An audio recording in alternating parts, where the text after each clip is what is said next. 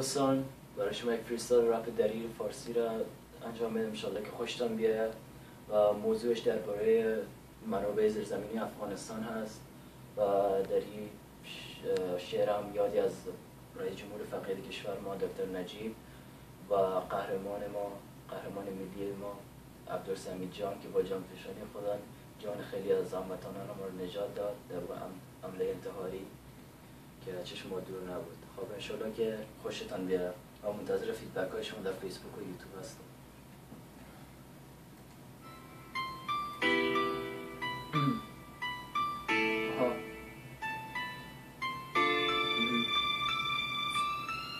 حبیب.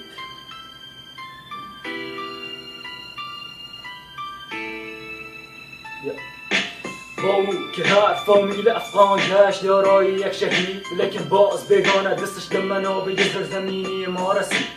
قپی چیزایی را که رئیس جمهور دکتر نجیب برای حفظشان از جان خود گذشت نکرد دلیل همچنین دلیلان ارتش پلیس اردوی ملی شعرانی مانند بیر خانجان و عبدالسمی. وقتی دیگران بودن در فکر دلار و قصف زمین اینا بودن در این فکر که دیگه اولادی نشه یتیم به کشوری که هست دارای ثبت عظیم و پنهان که می‌توان گفت در شهروند شاهزاده افغان.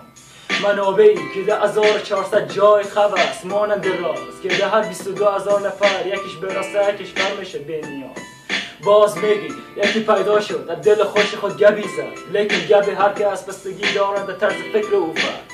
قصد و نیتم سرزنش نیست در ای اوضاع بحرانی. جز که بگم سرمایه گذاری کنین روی محصلین با وجدانی که امثال ما و دیگران نگرفتن و در وطن ماندن. اینا شاکیدای استخراج گاز نفتن. خستن.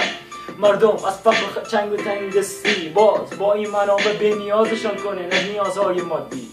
گبی از بادیاد آمد. باز علمای دین ما قار شدن لیکن مولوی سعیبا وقتی معنویات گم شده ای وطن که مادیات در حد نیاز از این مردم گرفتن.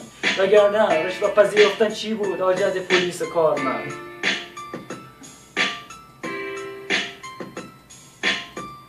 خب انشالله خوشتان آمده باشم منتظر هستم که تا ببینم که واقعا بین مردم افغانستان بین خوب و بد می‌تونن تشخیص بسن و انشالله برای رپ فارسی دارید کل تلاش خودم می‌کنم که به جایی برسه که هر افغانی به رپ فارسی رپ فارسی افغانی افتخار کنم خداحافظ.